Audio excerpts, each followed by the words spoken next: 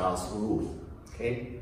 Now we know that uh, a function f of x, for instance, y is equal to f of x is continuous if I take the limit as let's say x approaches a of f of x. If this is equal to a, um, then then f of x is continuous at at a. Okay.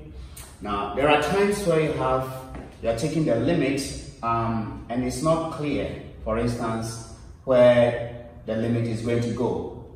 Okay. And so in those cases we have things um, that that the limit is difficult to determine the limit, and so we say it is indeterminate. Okay, and L'Hopital's rule helps us to be able to find this limit.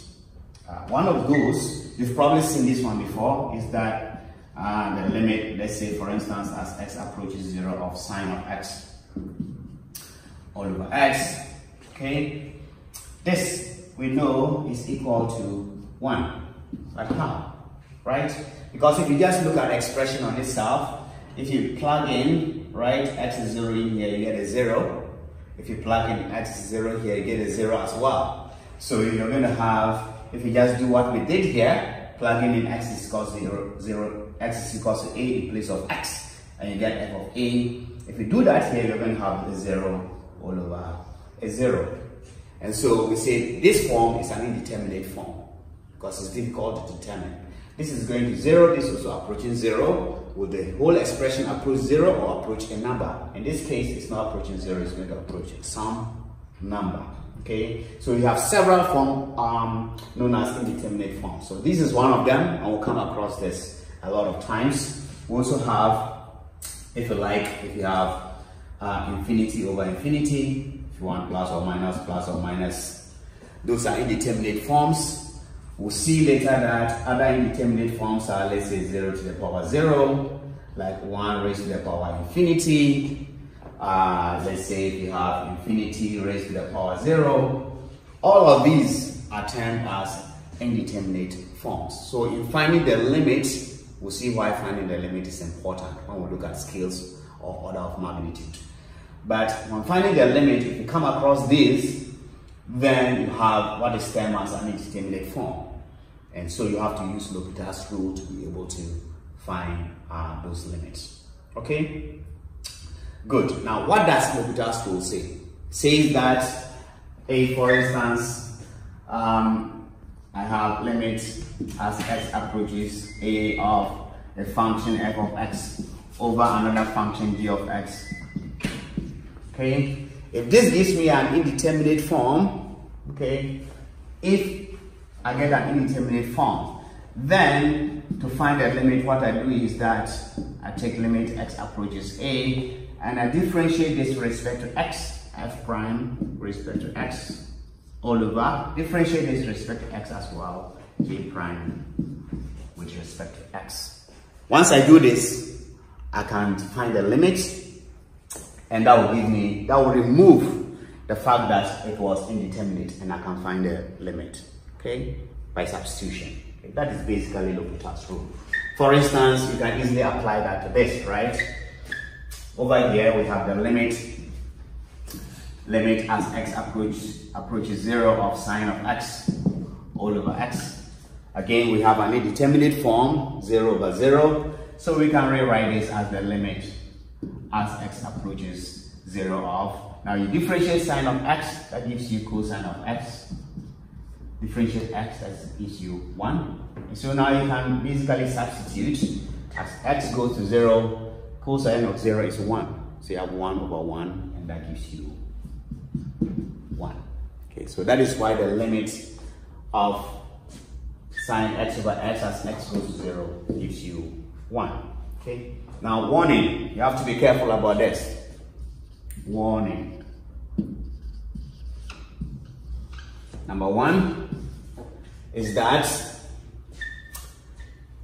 limits, this says that take the derivative of the numerator separately and take the derivative of the denominator separately.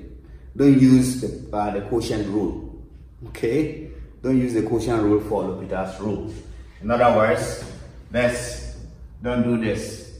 This f prime over g prime of x. This is not the same as d dx of f of x over g of x. This is not equal to that. So be careful about that. Number two, okay, the second warning is that apply apply the rule only when you encounter or when you have an indeterminate form.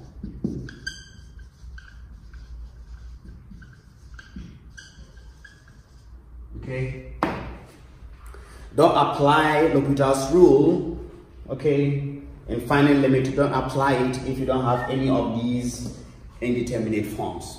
Apply it when you encounter an indeterminate form. I will show you an example. For instance, look at this. We have, for instance, limits. The limit, let's say the limit as x approaches, let's say 0 of 3x squared plus 2x minus 1 all over, let's say x squared plus 1. Okay? Now, as x approaches 0, if you just go straight away and substitute, this goes to 0, that goes to 0, this goes to 0, negative 1 over 1, this should give you negative 1. Alright? And that is the limit. Good. Now, what happens if we apply L'Hopital's rule? Okay, if you apply L'Hopital's rule, applying L'Hopital, you're going to have limits as x goes to 0 of the derivative of this is 6x, right? Plus this is 2, this goes to 0, all over, I'm going to have 2x here, this goes to 0. Now if I put in 0, this goes to 0, this goes to 0, and I get 2. And this is wrong, if you like. This is wrong. So you have to be careful when applying the rule. The rule only applies when you meet an indeterminate form. So that is when you have to apply L'Hopital's rule. Great. So now let's see some examples of um, L'Hopital's rule for the 0 over 0 case and the infinity over infinity case. Let's look at these um, examples. We have, okay, so let's do this.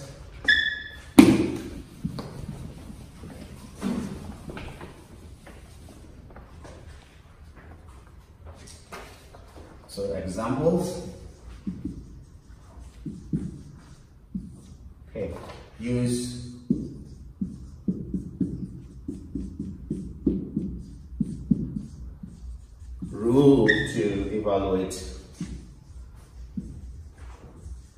evaluate. The first one is the limit as x goes to 1 of x raised to the power 3 x squared minus 2x all over x minus 1 and then the second one we want to find the limit as x approaches 0 of the square root of 9 minus 3x minus 3 divide all this by x. Okay? So let's let's do this for now and then afterwards we'll do a few more examples. Okay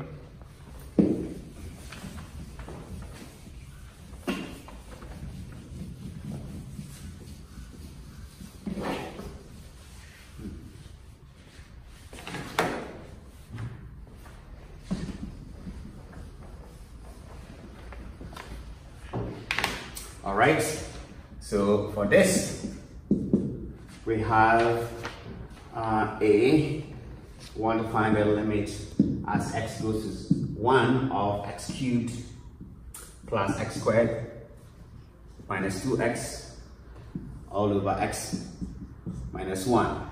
So let's see, if you plug in x is equal to 1 in here, what do you get? You'll have, you're going to have 1 plus 1 minus 2 that is 0.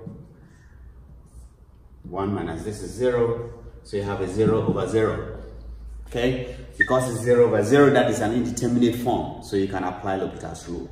So, applying the rule, this implies we can have, we're going to have limit x x goes to 1 half. Now differentiate this, that gives you 3x squared plus 2x minus 2 all over, this is just 1. Okay? So now straight away we can plug in our, um, we can plug in 1. So if you put x equals 1, I'm going to have 3 plus 2 minus 2 is equal to 3. So that gives me the answer for that. Okay? Now, B says we want limit as x goes to 0 of the square root of 9 minus 3x minus 3 all over x. Again, if you plug in x is equal to 0, you're going to have, this goes to 0, square root of 9 is 3, 3 minus 3 is 0. This is also 0, so you're going to have 0 over 0. So this gives us 0 over 0 as well. Because of that, again, we apply L'Hopital's rule, okay? So this should be equal to the limit as x goes to 0 of, now we're going to differentiate, differentiate this guy here, is to the power half. So I'm going to have 1 half. I have 9 minus 3x raised to the power negative 1 half multiplied by the derivative of what is in here, that is negative 3. This is 0 all over 1. Okay, so this is equal to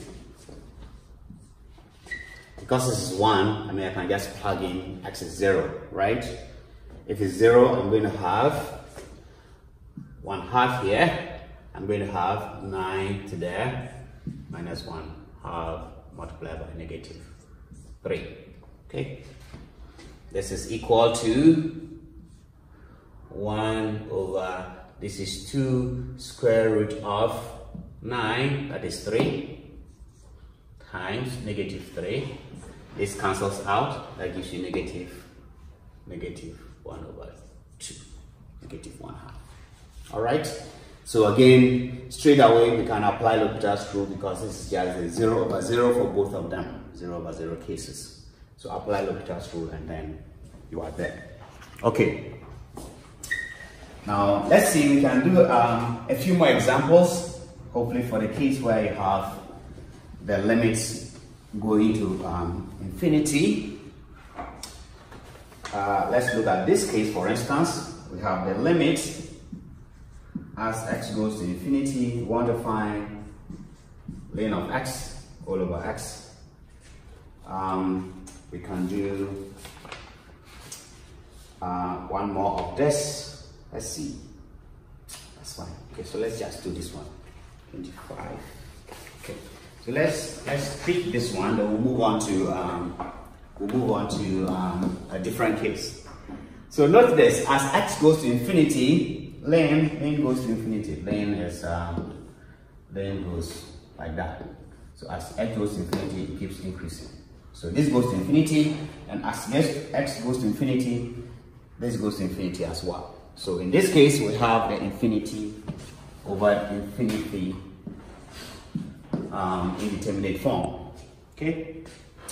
So apply L'Hopital's rule, so I have limit x going to infinity of the derivative of ln x, that is 1 over x. And this one is just 1. So I have limit as x goes to infinity of this 1 over that, that's 0. So this just goes to 0. Okay? So that is that for um, the infinity over infinity case. Alright?